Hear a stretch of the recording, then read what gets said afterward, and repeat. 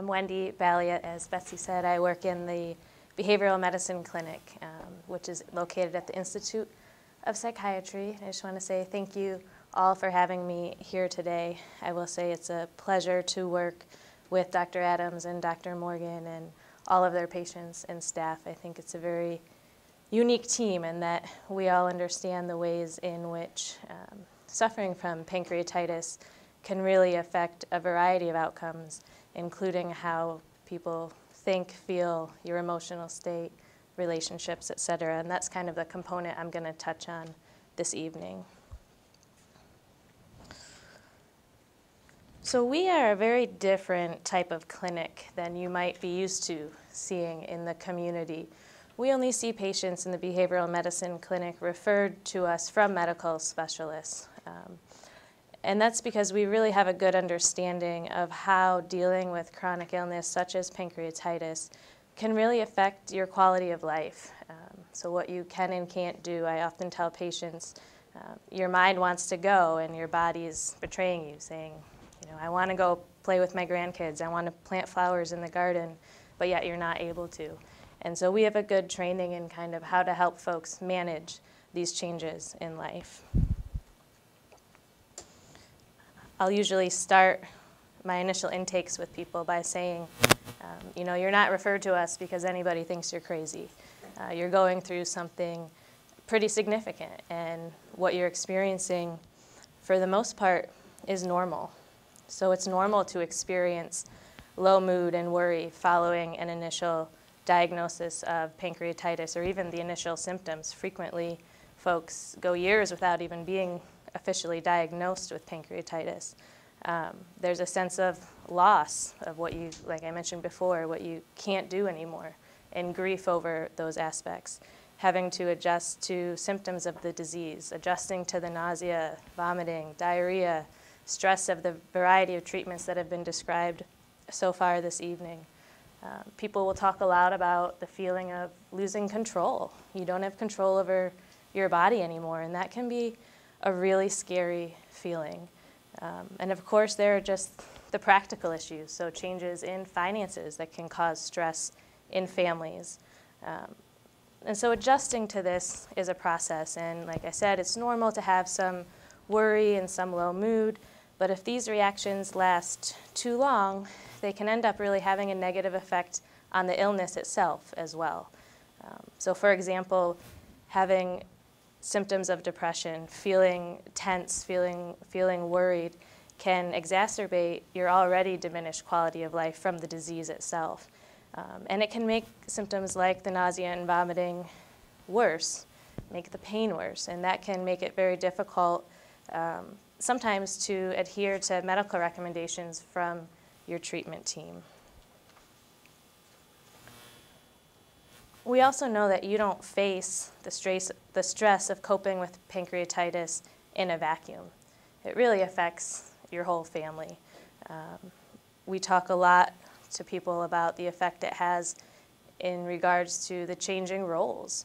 Um, you might be a mother who's used to taking care of your children or a father who's used to going to work and providing for the family, and then you're dealing with this disease where you might not be able to work anymore and your spouse has to step in and take over in that area. And that can be really tough to adjust to those changes. Um, children, oftentimes, with younger folks that are coping with pancreatitis, might not understand what their parent is going through. And they are asking, Mom, why aren't you coming to my play? Why aren't you watching my soccer game? And don't really understand that physically you're not able to do that because you are too sick. Um, something that comes up pretty frequently that we work with a lot of folks on is communication. So a lot of times there is a mismatch between what you want to say and what you're actually saying to the people that you love, your family members, your spouse, your children. So you might tell them, you know, I just want, I want everyone to go away. I'm having a bad day. I'm in a lot of pain. Go away. And what you really might mean is, right now I'm really in need of some comfort. Um, but you might not have the tools to ask that. You might not know how to say, I need help today, or I need a little bit of a little more kindness today than, than other days. Or you really just might want a little time to yourself. But there's often that mismatch between what you say and how it's said, and that lack of communication um, can exacerbate, like I mentioned before, some of the depressive symptoms and anxiety symptoms that we see with um, folks who are dealing with pancreatitis. So I thought it was worth kind of defining stress as we talk about pancreatitis and um, all of the components that go along with it. So we define stress as the anxious or threatening feeling that we experience when we interpret or appraise a situation as being more than our psychological resources can adequately handle. I know that's a mouthful, but if you, if you think about it, being diagnosed with pancreatitis, having to cope with the multitude of symptoms that go along with that, and I'll go over that in a minute, the changes of quality of life, decisions regarding surgical procedures, medical treatments. Um, it's a lot, and frequently it feels at times more than we can handle. Um, so you can see where this might increase feelings of hopelessness or helplessness. And obviously create stress. So stress, the stress response is multidimensional in nature. It affects the way we think about ourselves, it affects the way we think about the world, and it affects the way we think about the future. It can also change the way we feel, both emotionally and physically, and thereby affect our behaviors and our actions. So if we break it down into these different components, when our psychological resources become depleted, it can be really difficult to concentrate on simple tasks. And most individuals who have pancreatitis are also prescribed a variety of medications that can exacerbate one's ability to focus. So not only are, you, are your psychological resources depleted, but frequently you're on some significant narcotic medication that might also cloud your ability to think, focus, attend, make decisions. Um, I'm going to highlight this negative thoughts component here because this is one of the areas that we work really hard at in our clinic to help people recognize negative thoughts, or as we describe it, thinking errors, um, and work on altering them and changing them so that they're a little bit more adaptive. So, negative thoughts and worries may consume you as you deal with pancreatitis. I'll frequently hear people tell me, I'll never be able to enjoy life again. Um, I'm a burden. This isn't what my husband signed up for when he married me. That's a big one, the feeling of I'm a burden, I'm burdening my parents, I'm burdening my children. Um, and once these thoughts kind of start to cascade, as you can see, it really can affect your mood, which then can turn into increased tension and affects um, some of the symptoms of pancreatitis that we already see, such as pain and nausea. So our goal of therapy then, one of our main goals is to come up with alternative ways to think about pain and your different experiences. So instead of thinking, I'm in this constant pain, it's never going to go away, life's never going to get better when you're having a bad pain day, we'll work on changing that thought pattern, pattern so that you're thinking instead, all right, today the extreme pain is back, but I know it's only temporary. And you can see where thinking of it in that way can result in a very different emotion than thinking of it in this is an absolute, what we call kind of black and white thinking. And I have some handouts there that will highlight some of those thinking patterns as well.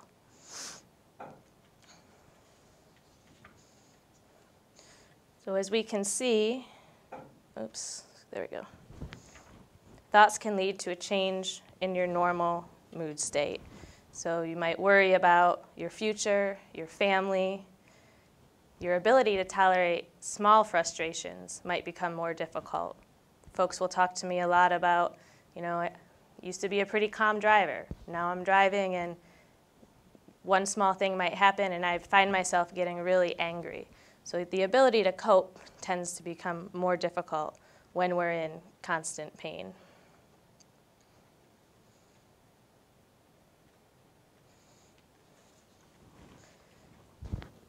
And as I mentioned, we can kind of put the pieces together here to see how thoughts can affect the emotions, which then might affect a variety of behaviors. So it might be, like I mentioned before, more difficult to follow recommendations regarding abstaining from tobacco, namely, um, might make it more difficult to follow your follow your diet, to sleep. Um, you might find yourself having angry outbursts. A big one that I talk to a lot of patients about is avoidance of people and activities. Um, I'll hear people tell me, you know, I never know when I'm going to get sick. So I don't want to make plans with my best friend to go out to dinner because what if I become sick? What if the pain comes and I have to cancel or I have to leave in the middle of dinner? So you really see how these thoughts and the worries can affect what you do. And frequently this is resulted in reduced self-care. Um, so you're not taking care of yourself to the best of your ability because of all of this stress your mind, your emotion, and your body is going through. So this is a, a chart that I thought I would show just briefly to kind of highlight some of the areas we try to focus on in our clinic. Um, I'm going to use that bottom example there since I just spoke to it. Fear. That's a, it's a big emotion with many of the patients I work with, whether it's fear of surgical procedures, fear of um, social contact, going out, even going grocery shopping, fear of an attack coming. Um, so that's the spontaneous reaction, or what we call the automatic reaction, is to avoid. You know, the only way I can stop the fear is to isolate, to be by myself. Um, and that is adaptive because then you're not out in public. You're not having a pain attack while you're in the grocery store or having to leave dinner with friends because you can't concentrate due to your pain.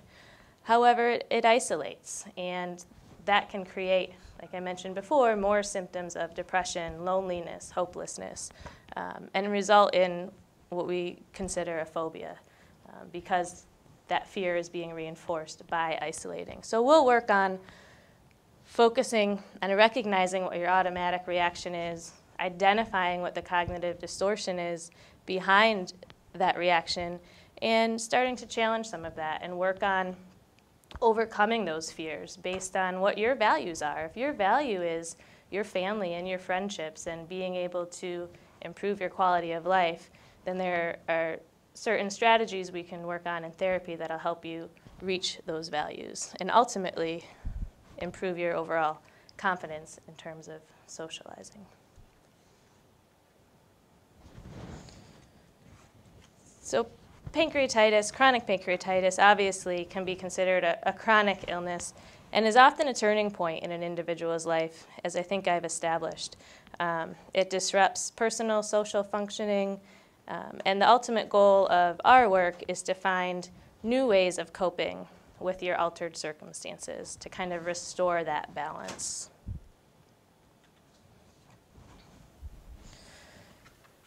So in thinking about the patients I see, along with some, some research, you know, these are unfortunately only a few, but probably the most common unique factors to folks who are dealing with chronic pancreatitis. We see the physical symptoms of nausea, vomiting, both the chronic pain and those acute episodes. Um, many folks are dealing with diabetes, checking your blood sugar. Um, a lot of people really have a a hard time sleeping. And we know sleep affects all aspects of life, including mood, fatigue.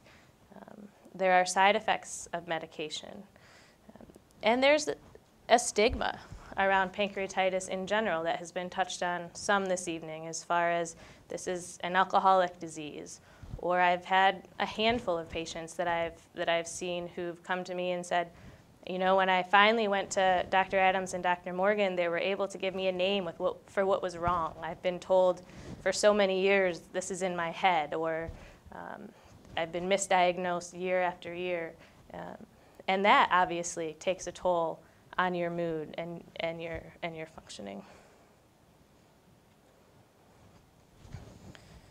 So, not surprisingly, About 20 to 50% of patients with pancreatitis, chronic pancreatitis, report some symptoms of depression. Um, as I've mentioned, fatigue, decrease in your ability to be mobile, a change in your activities of daily living, having to stop work, that's a huge one for individuals who have pancreatitis, having to kind of shift your identity from um, a teacher to someone who's disabled and what that means to you can really cause symptoms of depression. As I've mentioned before as well, this idea of social isolation, that no one can understand what you're going through, and a real loss of independence. You know, I'll, I'll hear people very often saying, I feel useless. Um, I can't help around the house. I can't even pick up after myself. I can't wash the dishes. I'm such a burden on my family.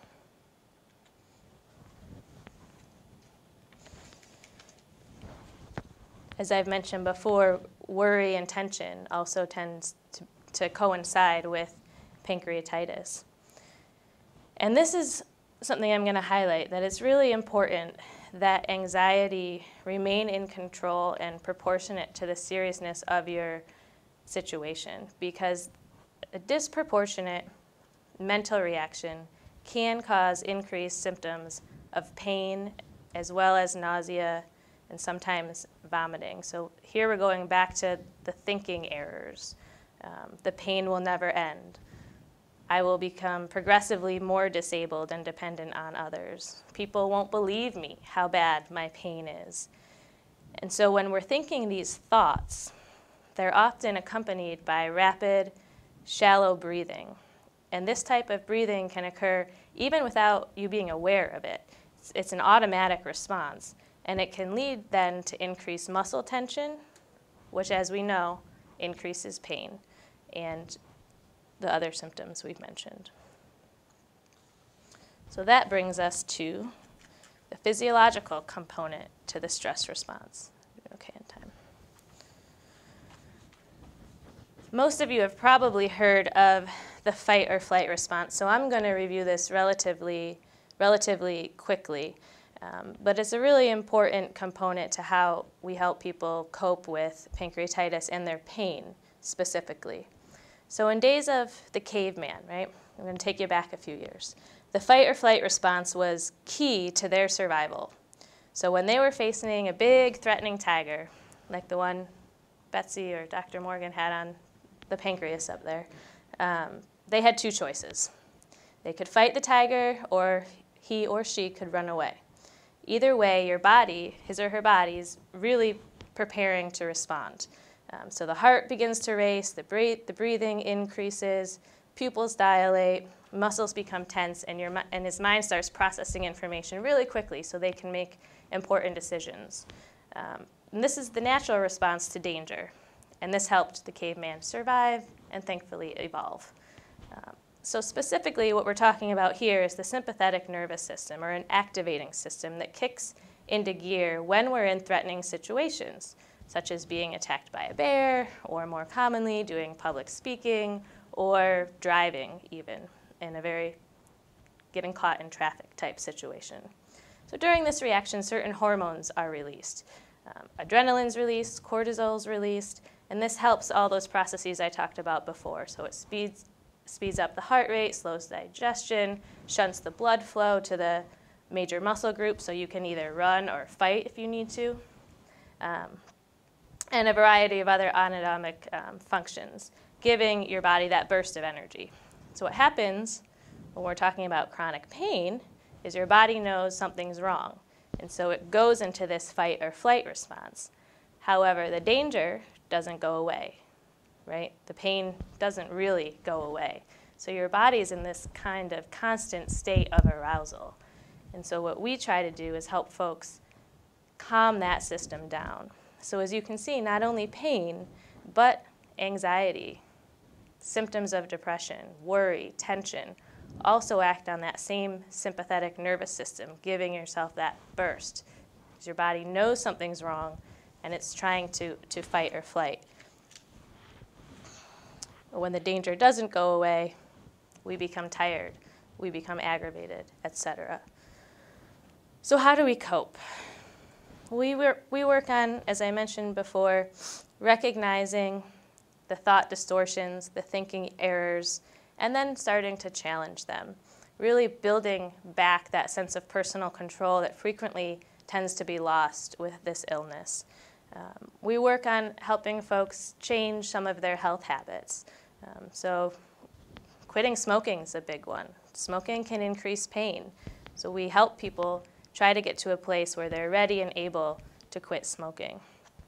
Following their dietary recommendations that we'll go over shortly. Pacing your activities. Another common thing that we'll hear is, I'm having a really bad day. All I want to do is lay on the couch. Well, what do we know about that? You lay on the couch all day, you're still going to be tense. Your mind's going to be focused on the pain. We need to get you up, moving a little bit, distract yourself from the pain. Touched on social support, and a big one I'm going to talk about, and I think um, Jane will be a nice segue into highlighting some of this as well, is relaxation. So relaxation is important for a number of factors. As I mentioned before, it reduces physiological arousal. So when we can slow our heart rate down, when we can start to control our breathing, um, we can activate what's called the parasympathetic nervous system, or the calming system. And this allows our body to rest and digest. By learning structured relaxation skills um, and using them on a regular basis, we can really begin to activate this system, and that takes the edge of the pain, some of the pain away. I always tell, tell my patients up front, you know, my goal is not to take away all of your pain. I don't think I can do that, but I, can, I think I can help you think about your pain differently and reduce some of your pain experience. So the research will show that if you can engage and practice some of these activities on a regular basis, you might reduce your pain up to 30%. That's without medical intervention. And many patients will say, I'm I'll take that plus some surgical procedures or medical intervention and really begin to see an improvement in your quality of life. I also warn patients as well that this takes practice. So if you're planning to run a marathon, you're not going to go running on Monday and plan to be successful in running 26 miles the next day, right? So just like running a marathon, this takes time, patience, and practice. Um, these are some of the relaxation techniques that we use, so we help people learn how to breathe. It sounds kind of weird, right? We're all sitting here breathing, but most of us um, tend to take relatively shallow breaths. I can tell even right now, I'm taking pretty shallow breaths as I'm speaking and giving this presentation. Um, and again, that's a signal to that sympathetic nervous system, which starts kicking into gear and can create muscle tension and increase pain. So we'll work on breathing. We'll, we'll work on something called progressive muscle relaxation, which is a strategy to learn when you're tense versus when you're relaxed. Because frequently, I know I'm guilty of it, I can go all day and, and be really tense, and it's such a normal feeling for me that I don't even know it. So learning how to relax and um, feel a difference between tension and relaxation is something we'll focus on. And we can do all of these activities while using what we call biofeedback. And this is a means of bodily self-monitoring. So we help people learn to control certain physiological processes like heart rate, like skin temperature, and like muscle tension. We'll hook you up to the machine. Typically, I either do heart rate or, or skin temperature and have you look at um, a diagram in which it'll show your body temperature rising or lowering. If your temperature goes up, it means you start to become more relaxed, and hopefully you notice a difference in your pain. If it goes down, it's a signal that you may um, be pretty tense or in a lot of pain. So with practice, you can learn on your own how to kind of monitor those bodily sensations using these techniques listed above. So why does any of this matter? I think probably it's self-explanatory. We want to help our ultimate goal in the behavioral medicine clinic is to help improve your quality of life. Um, you know, we know that it's difficult to cope with physical ailments when you're also dealing with major depression, major anxiety, or other mental health concerns. Um, there's an increase in mortality when these issues are not addressed. It also affects a lot of your, your physical health. So we'll, we'll see high blood pressure when people have uncontrolled anxiety or depression, a weakened immune system, um, as I mentioned before, increased pain, more hospital readmissions, which I know is one of the ultimate goals is staying out of the hospital, and other increased symptoms of pancreatitis. Well, I don't have a dragon or a tiger, um, but the important points I'm, I guess I'm trying to drive home is that stress is multidimensional in nature. It affects your physical health, and the way you think about stress and or pain affects how you experience it.